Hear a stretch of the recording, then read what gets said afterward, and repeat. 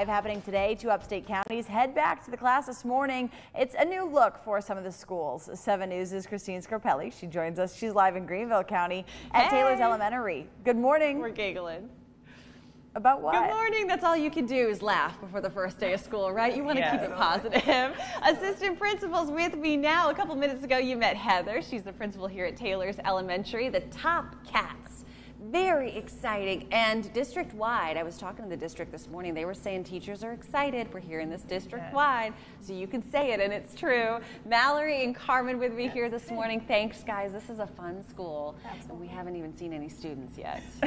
Uh, it will be exciting. It will be exciting. Are there things you look forward to on the first day? Uh, Mallory, you were saying as an assistant principal, you get to know not just the students, but the parents, yes. right? Is there anything maybe you're looking forward to today? So I'm new to the school and the community yeah. and new to the role, so it's super exciting to get to know the students and get mm-hmm. to know their parents and just build those relationships. So I'm looking forward to that. It was fun to, to learn how much parents are like. The kids yeah. are like the parents. So yes. that's, that's kind of fun. It's neat to see the resemblance.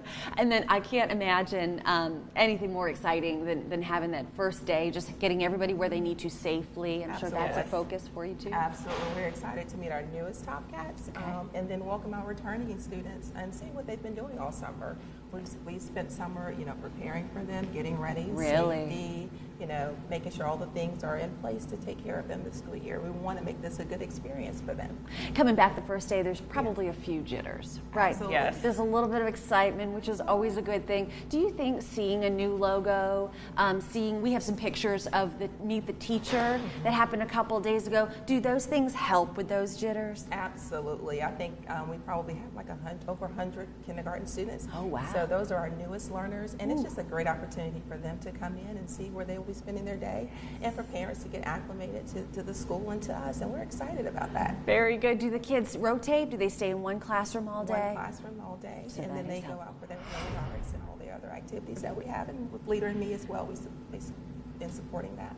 I've been yelling at viewers all morning to be patient and slow down. Yes, I don't know if that's absolutely. appropriate. Buses, right? Yes. Absolutely. I've been told the car line can get just yeah. a little, just today might be just a little slower. Yeah. It That's will okay. be, so just bring your patience. there we go. First-hand advice from the top cats here at Taylors Elementary. Guys, we always appreciate you. Hey, hang with us. We'll be here this morning as the kiddos come in. I'm excited. You never know what's going to be yes. thrown up in front of the camera. They'll be excited to see Hand signs, smiles, maybe tears. It's different every year. Are you guys excited?